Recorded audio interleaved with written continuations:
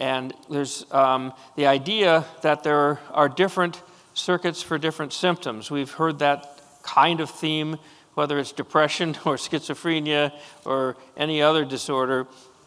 There's a network, which is also another name for a circuit.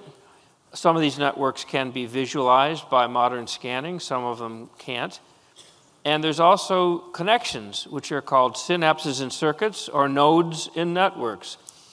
And we believe that what goes wrong in the memory network, if there is such a thing, is that the output from your memory circuit is screwed up because that thing in white is degenerating, and that's maybe a cholinergic neuron, at least early. It's more complicated than that. But certainly the memory network, in terms of loss of cholinergic input, is a factor, and it's also a factor in some of the treatments. Psychosis network, we've talked about in my earlier lecture today. It's the same one. Something goes wrong maybe in the cortex that messes up those same neurons that are theoretically neurodevelopmentally abnormal from schizophrenia, but you put a, tack or, a plaque or a tangle or you put a, a stroke or something up there, disrupt that, and then out comes the psychosis. And uh, drugs like pimavanserin have been used in that.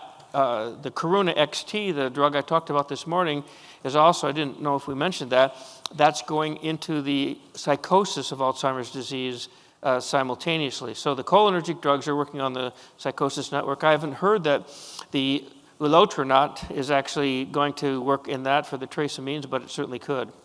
And then today we're going to talk about the agitation network, which is these are all parallel pathways. They're different ones. They're outputs from the cortex, theoretically, and that they're controlled by different neurotransmitters. And it's a complex story a little bit, but I'll try to simplify it with some cartoons. And over here on the right, we have two classes of drugs that are already either very imminent or sort of imminent for approval. Brexpiprazole, something you know in, in another context, approved for schizophrenia and for the augmentation of depression, is also in late stage, and we'll talk about that. And there's also forms of cough medicine.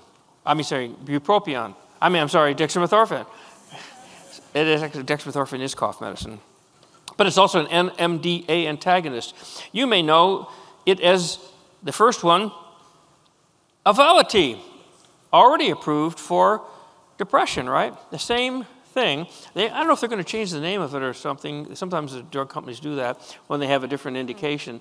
But the same doses and the same drugs are actually in late stage development for agitation. And so is uh, the dextromethorphan with quinidine or deuterated, that's more to extend the, the patent life as anything.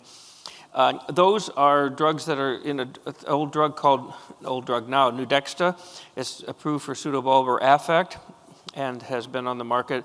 And that same drug is uh, in testing, but it's not coming along as well or as quickly as the so-called Auvelity. We'll talk about that.